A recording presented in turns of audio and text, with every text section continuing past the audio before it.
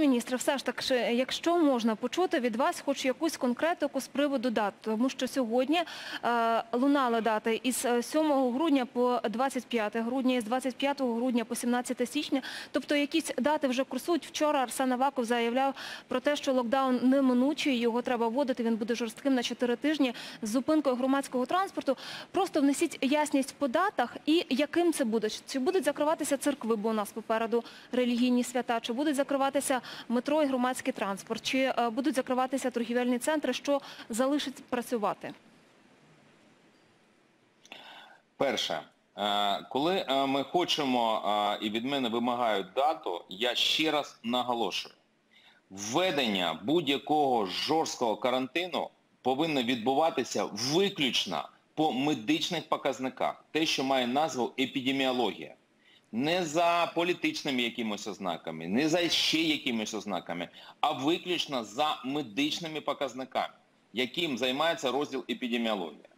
І по-іншому ми давати, ну тобто жодних, жодних дат ми називати не будемо, тому що знову все залежить від розвитку ситуації і від загроз, які несуть е, саме на, е, щодо колапсу медичної системи, теоретично можливому. Тепер те, що стосується по цифрах, які я е, мушу прокоментувати, про які ви сказали, що різні цифри були, на е, якому, е, коли в нас може настати колапс медичної системи.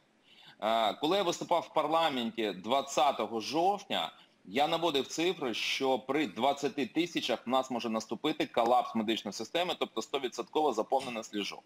На той час у нас було 34 тисячі ліжок з відведених під COVID-19, була достатньо напружена ситуація, була дуже е, такі е, стрімке зростання ураганними темпами, і ми орієнтувалися на ті цифри.